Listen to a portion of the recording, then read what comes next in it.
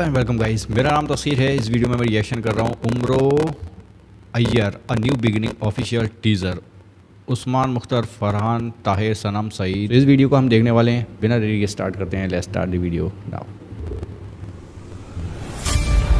वक्त बदल रहा है। ज़मीन अपने आखिरी दौर में दाखिल हो चुकी है।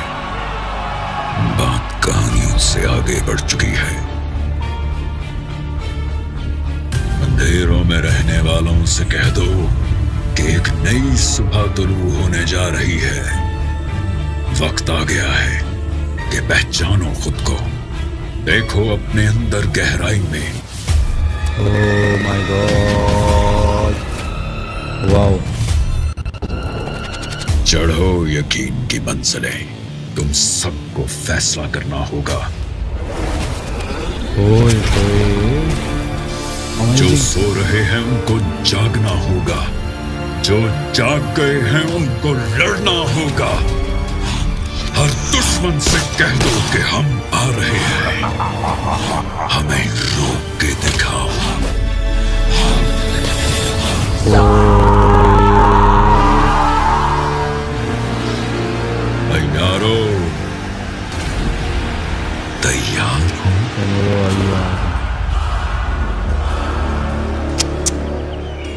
Amazing, I'm shocked. New beginning. Really really really amazing movie है भाई ये जो भी सीन है सनम सईद का लुक ओए होए मुझे किसी मूवी की याद दिला रहा था हॉलीवुड की वी एफ़ एक्स अनबीटेबल यार कुछ ऐसा लग रहा था यार कि बिल्कुल रियल है सब कुछ उनके हाथों में से आग निकलना और वो जानवर की तरह रूप ले, ले लेना अमेजिंग यार। ये मुझे मैंने एक्सपेक्ट नहीं किया था इसको देखने से पहले कि इस टाइप का होगा। कुछ है नेक्स्ट लेवल है कुछ। पाकिस्तानी इंडस्ट्री कुछ ग्रो कर रही है आजकल।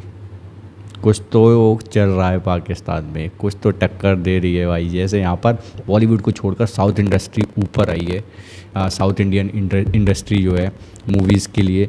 उन्होंने बहुत कुछ मेहनत की है। तो वैसा ही कुछ मुझे सीन लग रहा है कि यार ये पाकिस्तान में भी कुछ सीन चल रहा है। The legend of Maula Jatt आई थी। हालाँकि यहाँ पर रिलीज़ नहीं हो पाई इंडिया में।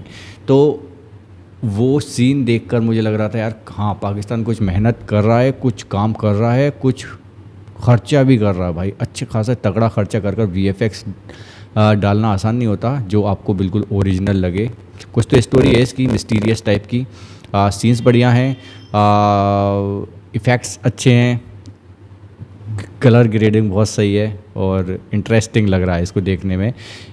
आप अगर अपनी ही लैंग्वेज में हॉलीवुड टाइप की मूवी देख लें तो इससे बढ़िया बात क्या हो सकती है? मुझे वैसे कुछ फील आ रहा था इसमें कि अपनी ही लैंग्वेज में हिंदी, उर्दू ज़्यादा अलग नहीं है और उर्दू, हिंदी हमारे इंडिया पाकिस्तान में चलती रहती है। तो ये सीन देखने में कितना अच्छा होगा कि यार उनके होल्ट भी वैसे ही चल रहे हैं, जो वो बोल रहे हैं, जो हमें समझ में आ रहा है। डबिंग वबिंग छोड़ो, ऐसी मूवी बन जाए तो क्या बात है यार। देखते हैं आगे क्या होता है इसका। क्या कहते हो? आपको देखने के बाद कैसा लगा ये? कमेंट सेक्शन में ज़रूर बताना।